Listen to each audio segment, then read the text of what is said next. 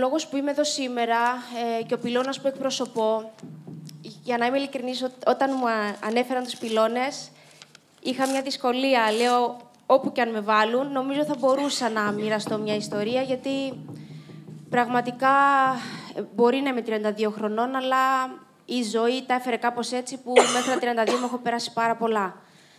Λοιπόν, είμαι δύο φορές χρυσή παραλυμπιονίκης. Ε, μέχρι τα 14 μου χρόνια εκπροσωπούσα την Κύπρο σε αγώνες αρτιμελών αθλητών. Το πρόβλημα της όρασής μου είχε αρχίσει στα 9 μου χρόνια και επιδεινωνότανε. Στα 14, όπως σας είπα, ήμουνα βαλκανιονίκης με τις γυναίκες, δηλαδή γυναίκες που ήταν 20 χρονών και μεγαλύτερες. Αλλά από εκεί και πέρα είχε αρχίσει η όρασή μου να επιδεινώνεται και αυτό δημιουργούσε μεγάλο πρόβλημα καταρχήν στις επιδόσεις μου και κατά δεύτερον στην καθημερινότητά μου και στον τρόπο προπόνησής μου. Το 2002 ε, αποφασίζω να λάβω μέρος στους κοινοπολιτιακούς αγώνες με διπλή συμμετοχή. Δηλαδή αυτό σήμαινε ότι θα λάμβανα μέρος και στους αρτιμελείς αθλητές γιατί είχα πάρει τα όρια και για πρώτη φορά θα έπρεπε ουσιαστικά να αποδεχτώ κάτι τόσο δύσκολο για μένα, γιατί καταλαβαίνετε ότι ένα παιδί στα 16 του χρόνια δεν έχει ούτε την οριμότητα, ούτε, την, ούτε το κριτήριο να κρίνει κάποια πράγματα και έπρεπε εγώ ένα πολύ βαθιά κρυμμένο μυστικό, το οποίο ήταν το πρόβλημα της όρασής μου, να το, να το αποδεχτώ δημόσια και απέναντι στους συναθλητές μου. Το έκρυβα πάρα πολύ. Για κάποιο λόγο ντρεπόμουν. Δεν ξέρω γιατί. Δεν μπορώ να σας απαντήσω αυτό. Ε, απλά, ίσως πολλές φορές η κοινωνία η ίδια μας κάνει να ντρεπόμαστε για κάποια πράγματα. Στην πορεία κατάφερα να το ξεπεράσω και να συμβιβαστώ με αρκετά πράγματα και να αποδεχτώ αρκετά πράγματα. Αλλά στα 16 μου χρόνια ήταν το πρώτο μεγάλο, πολύ μεγάλο μεταβατικό στάδιο της ζωής μου που είχα κληθεί να αποδεχτώ δημόσια αυτό το πρόβλημα είχα κληθεί να συνομιλήσω ουσιαστικά με τον εαυτό μου και είχα τις εξής επιλογές. Είχα πει ότι ή θα συνεχίσεις να είσαι με τους αρτιμελείς αθλητές, θα δυσκολεύεσαι κάθε μέρα όλο και περισσότερο για να κρύψεις ένα πρόβλημα και στην πορεία του χρόνου θα εξαφανιζόμουν ως αθλήτρια ή θα μείνεις σπίτι σου και δεν θα κάνεις τίποτα, γιατί αυτό ήταν και το πιο εύκολο για μένα, με τις καθημερινές δυσκολίες που αντιμετώπιζα και ακόμα αντιμετωπίζω. Και η τρίτη επιλογή ήταν να πάρω τον δύσκολο δρόμο, να αποδεχτώ σε εισαγωγικά, γιατί τελικά δεν ξέρω αν ποτέ αποδεχόμαστε κάτι τόσο μεγάλο που μας συμβαίνει, ε, και να προχωρήσω. Πήρα την τρίτη επιλογή και θυμάμαι τότε ότι και η αθλητική μου ψυχολόγος, που ήταν παρούσα στους αγώνες, αλλά και η μητέρα μου, είχαν δεχτεί την χειρότερη συμπεριφορά που θα μπορούσαν να δεχτούν από άνθρωπο, από εμένα δηλαδή, γιατί ένιωθα ότι είναι αυτή η υπεύθυνη που βίωνα εγώ τα τόσα άσχημα συναισθήματα που με διακατήχαν εκείνη την περίοδο. Όταν στάθηκα στο Βατήρα για να, ξεκινήσει, να ξεκινήσουν τα 50 μέτρα ελεύθερο ε, με τους αθλητές με αναπηρία, ένιωθα ότι όλο το κολυμβητήριο με κοιτάζει και ότι όλο το κολυμβητήριο σκέφτεται ε, για μένα. Είμαι σίγουρη ότι δεν συνέβαινε κάτι τέτοιο.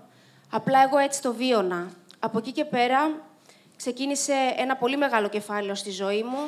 Ξεκίνησε ουσιαστικά μια καινούργια σελίδα. Ε, έχουν περάσει 16 χρόνια από τότε.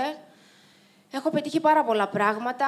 Ε, δυσκολεύτηκα πάρα πολύ και δυσκολεύομαι ακόμα γιατί, όπως σας είπα, η κοινωνία δεν αποδέχεται κάποια πράγματα και εμείς οι ίδιοι άνθρωποι πολλές φορές δεν αποδεχόμαστε κάποιον που είναι διαφορετικός από εμάς. Ε, πίστευα πάντα ότι πρέπει να είμαι ίδια με τους άλλους για να με αποδεχτούν. Γι' αυτό έκρυβα και αυτό το πρόβλημα. Έλεγα ότι αν οι συνεθλητές μου καταλάβουν ότι εγώ δεν είμαι ίδια με αυτούς, θα με απορρίψουν.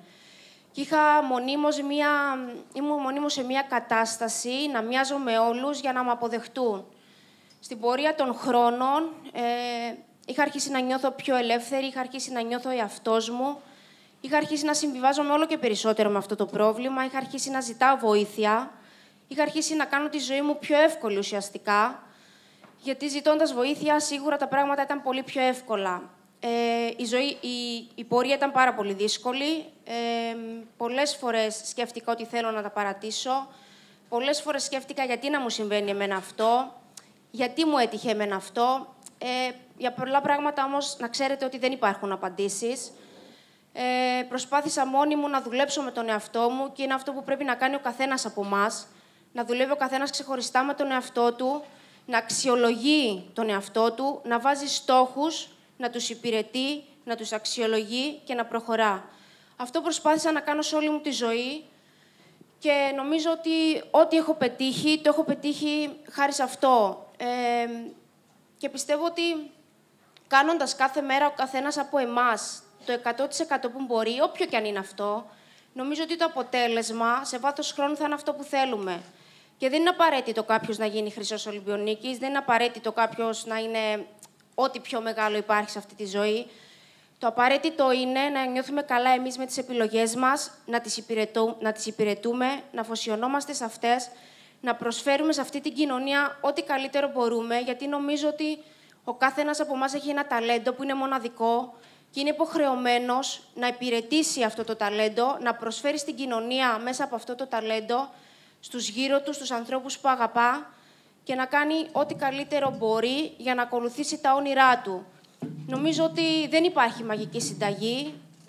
Ο καθένας από εμά καθημερινά βρίσκει το δρόμο του, φτάνει να θέλει να το κάνει, να προσπαθήσει να το κάνει και να είναι έτοιμος να δεχτεί και την απόρριψη, γιατί πιστέψτε με, η ζωή είναι ένας καθημερινός αγώνας, δηλαδή εγώ βιώνω ένα καθημερινό αγώνα, από την ώρα που θα ξυπνήσω μέχρι την ώρα που θα κοιμηθώ, πρέπει να σκεφτώ πώς θα κινηθώ, πώς θα βρω τα ρούχα μου, με τα χρώματα δυσκολεύομαι, αν κάτι, πώς θα το πρωινό μου. Και επειδή είμαι αθλήτρια υψηλού επίπεδου, καταλαβαίνετε ότι οι απαιτήσεις είναι πάρα πολύ υψηλές. Πολλές φορές έρχομαι σε σημείο που μπλοκάρει το σύστημα και καταλήγω στο νοσοκομείο, γιατί πιέζομαι υπερβολικά, γιατί Πιέζομαι καταρχήν γιατί οι απαιτήσεις είναι πολύ ψηλές της καθημερινότητας και της ζωής του καθενός από εμάς. Γιατί οι ρυθμοί πλέον είναι πάρα πολύ γρήγοροι και η ζωή είναι πάρα πολύ ανταγωνιστική. Και κατά δεύτερον, γιατί έχω εγώ παράλληλα να αντιμετωπίσω και ένα πολύ μεγάλο πρόβλημα που είναι 97% απώλεια στην κεντρική όραση. Ε, με όλα αυτά, θέλω να κλείσω αυτή τη μεγάλη παρένθεση. Θα μπορούσα να σας πω πάρα πολλά, αλλά δεν θέλω να πάρω άλλο από τον χρόνο σας. Ευχαριστώ πάρα πολύ την Intersport που μου δίνει αυτή την ευκαιρία και μοιράζομαι μαζί σας ένα πολύ μικρό κομμάτι της ζωής μου και θα είμαι πάρα πολύ χαρούμενη και ευτυχισμένη αν ο καθένας από εσά και κάθε μια από εσά καλύτερα όταν φύγει από εδώ, έχει πάρει ένα πάρα πολύ μικρό κομμάτι και την βοηθήσει στη ζωή της και στην καθημερινότητά της. Σας ευχαριστώ πολύ.